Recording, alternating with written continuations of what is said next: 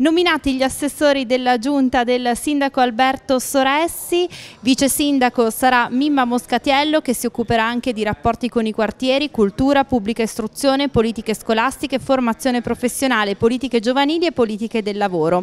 Katia Viscardi avrà le deleghe a servizi sociali, politiche dell'assistenza, agricoltura e foreste, pari opportunità, ambiente, rapporti con associazioni, enti assistenziali, parrocchie, ASL e consorzi dei servizi sociali.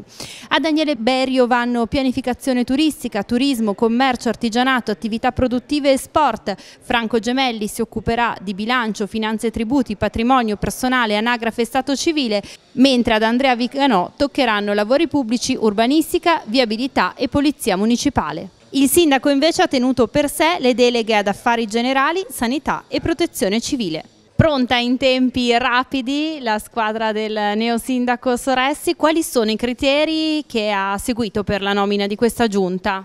I criteri che ho utilizzato, fortunatamente io ho avuto dalla mia una squadra che mi ha permesso di lavorare assolutamente con la carta bianca, per cui eh, i criteri sono stati quelli di individuare persone competenti, persone appassionate per il lavoro che andranno a fare e una squadra che sa lavorare insieme.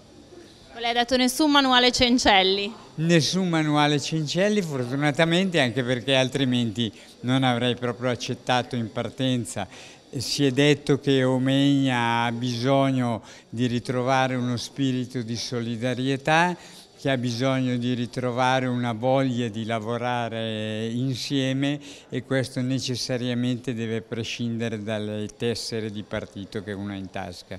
Ecco, lei ha rilevato no, il dato dell'astensionismo, quindi c'è bisogno di riprendere un dialogo con la città. Sì, certamente e noi lo ripart ripartiremo proprio da un discorso di eh, ripristinare un dialogo attraverso la rivitalizzazione dei quartieri e di tutte le associazioni presenti sul territorio.